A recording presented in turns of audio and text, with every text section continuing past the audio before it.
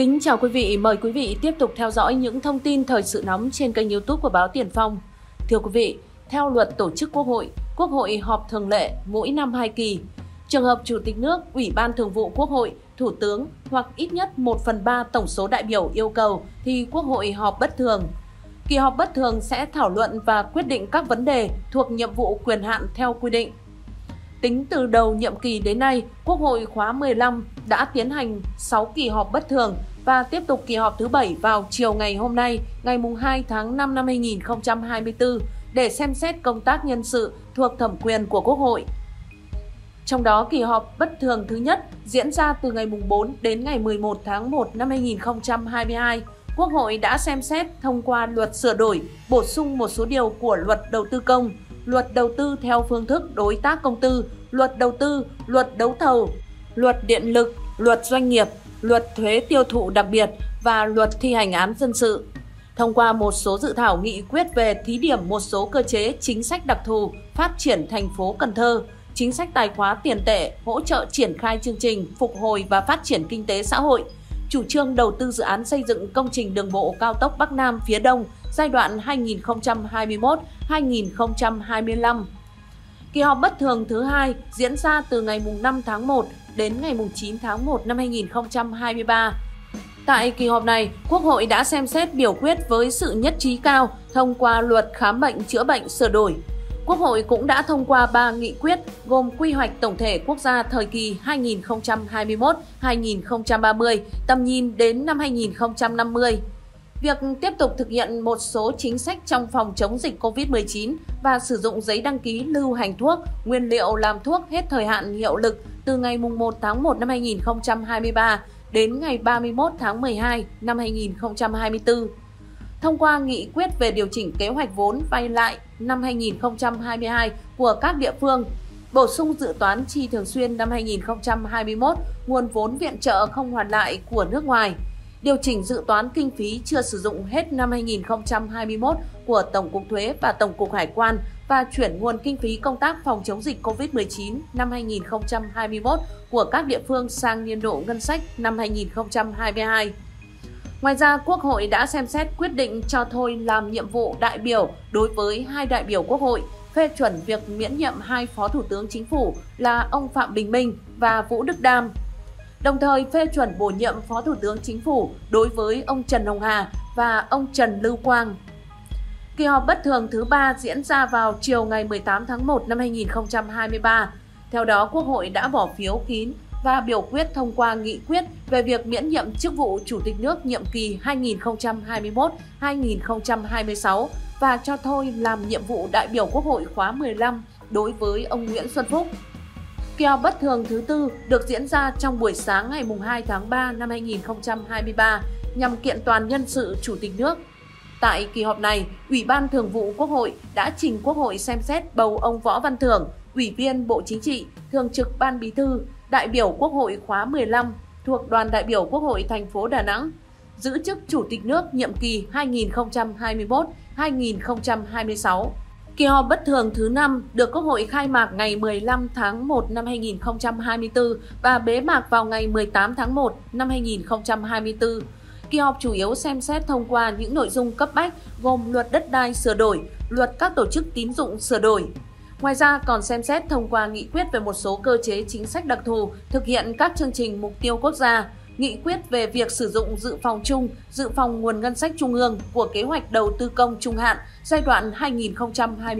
2021-2025 cho các bộ cơ quan trung ương địa phương và Tập đoàn Điện lực Việt Nam. Kỳ họp bất thường thứ 6 được diễn ra trong sáng ngày 21 tháng 3 năm 2024 để thực hiện một số nội dung Cụ thể, nghe báo cáo của Ủy ban Thường vụ Quốc hội về việc cho thôi làm nhiệm vụ đại biểu Quốc hội khóa 15 đối với ông Trần Tuấn Anh thuộc đoàn đại biểu Quốc hội tỉnh Khánh Hòa, xem xét thông qua các nghị quyết về việc miễn nhiệm chức vụ Chủ tịch nước nhiệm kỳ 2021-2026 và cho thôi làm nhiệm vụ đại biểu Quốc hội khóa 15 đối với ông Võ Văn Thưởng thuộc đoàn đại biểu Quốc hội thành phố Đà Nẵng.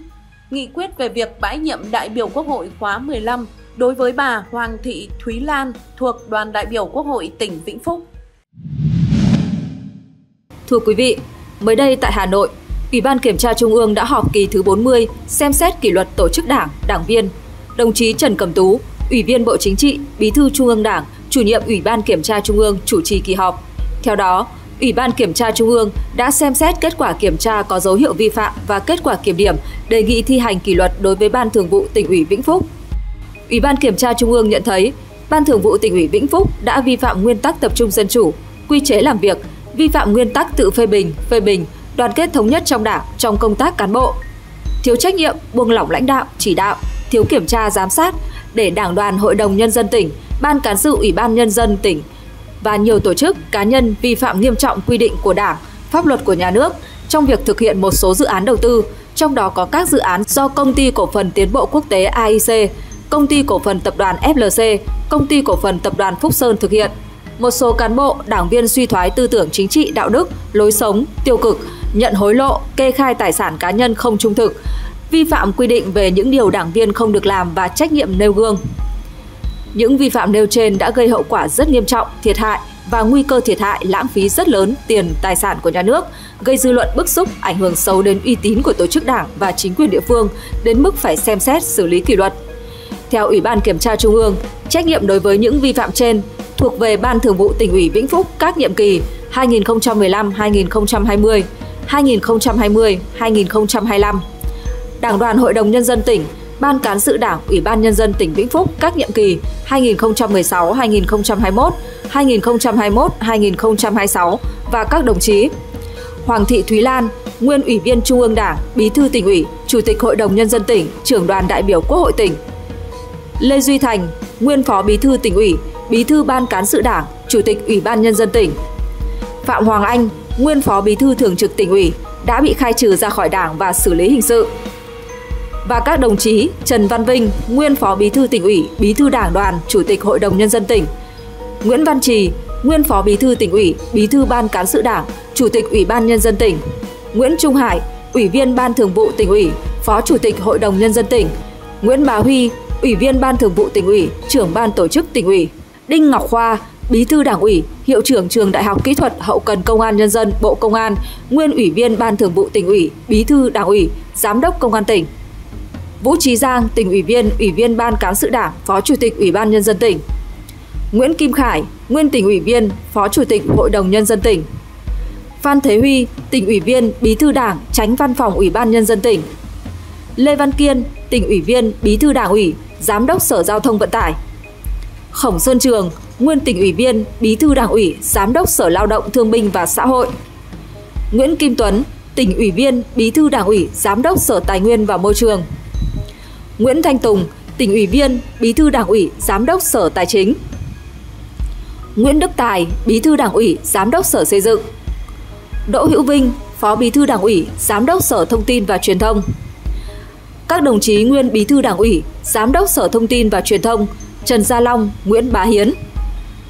Đồng chí Nguyễn Văn Độ, tỉnh ủy viên, bí thư đảng ủy, giám đốc Sở Kế hoạch và Đầu tư. Đỗ Đình Việt, nguyên tỉnh ủy viên, bí thư đảng ủy, giám đốc Sở Kế hoạch và Đầu tư. Các đồng chí nguyên bí thư đảng ủy, nguyên trưởng ban quản lý các khu công nghiệp tỉnh, Bùi Minh Hồng, Nguyễn Công Lộc, Nguyễn Xuân Phương. Đồng chí Nguyễn Văn Bắc, nguyên tỉnh ủy viên, giám đốc Sở Tư pháp. Lê Văn Phúc, Bí thư Đảng ủy, Cục trưởng Cục Thuế tỉnh Vĩnh Phúc. Liên quan đến những vi phạm nêu trên, còn có trách nhiệm của một số tổ chức đảng, đảng viên khác. Xét nội dung tính chất, mức độ, hậu quả, nguyên nhân vi phạm, căn cứ quy định của Đảng, Ủy ban Kiểm tra Trung ương quyết định thi hành kỷ luật một loạt tổ chức đảng, cá nhân thuộc tỉnh Vĩnh Phúc. Cụ thể, Ủy ban Kiểm tra Trung ương kỷ luật cảnh cáo Đảng đoàn Hội đồng Nhân dân tỉnh Vĩnh Phúc nhiệm kỳ 2021-2026 Ban Cán sự Đảng Ủy ban Nhân dân tỉnh Vĩnh Phúc các nhiệm kỳ 2016-2021, 2021-2026.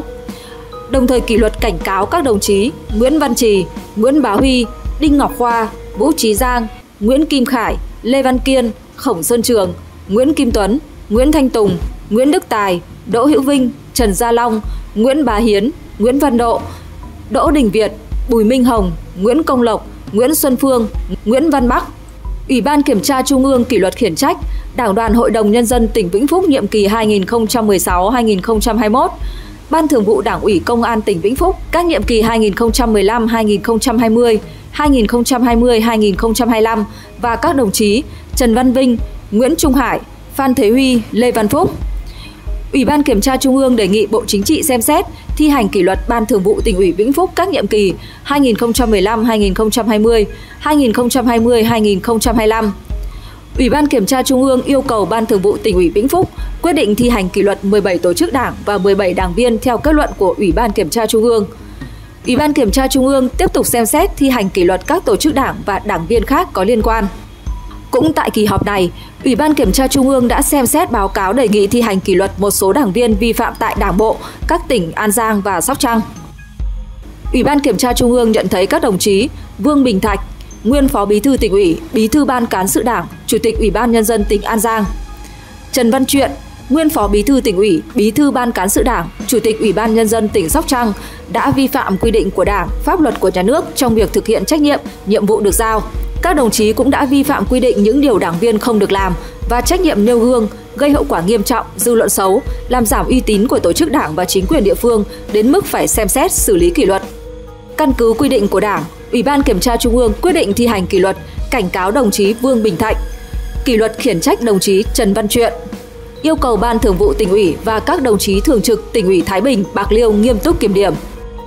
Tại kỳ họp, Ủy ban Kiểm tra Trung ương cũng xem xét kết quả giám sát đối với Ban Thường vụ tỉnh ủy và các đồng chí thường trực tỉnh ủy Thái Bình và Bạc Liêu. Ủy ban Kiểm tra Trung ương yêu cầu Ban Thường vụ tỉnh ủy và các đồng chí thường trực tỉnh ủy Thái Bình và Bạc Liêu nghiêm túc kiểm điểm, rút kinh nghiệm, khắc phục kịp thời các vi phạm, khuyết điểm, hạn chế trong lãnh đạo, chỉ đạo xây dựng và tổ chức thực hiện quy chế làm việc, công tác cán bộ và việc quản lý sử dụng đất trong các dự án đầu tư, việc kê khai tài sản, thu nhập. Ủy ban Kiểm tra Trung ương yêu cầu Ban Thường vụ tỉnh ủy Bạc Liêu chỉ đạo kiểm tra khi có dấu hiệu vi phạm đối với Đảng ủy Sở Tài nguyên và Môi trường, báo cáo kết quả về Ủy ban Kiểm tra Trung ương. Cũng tại kỳ họp này, Ủy ban Kiểm tra Trung ương đã xem xét kết luận một số nội dung quan trọng khác.